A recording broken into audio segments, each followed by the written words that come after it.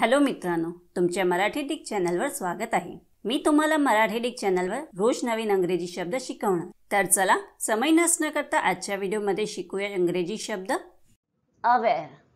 अवेअरचा मराठी अर्थ जाणीव असलेला सावध माहितगार.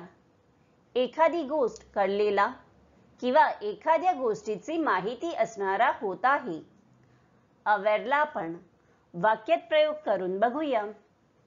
पहिला वाक्य आहे as you are aware I am facing a financial crisis दुसरा वाक्य आहे are you aware of the time तिसरा वाक्य आहे everybody is aware of the hazards of smoking चौथा वाक्य आहे I was not aware of the fire friends व्हिडिओला लाईक शेअर आणि कमेंट करायला विसरू नका.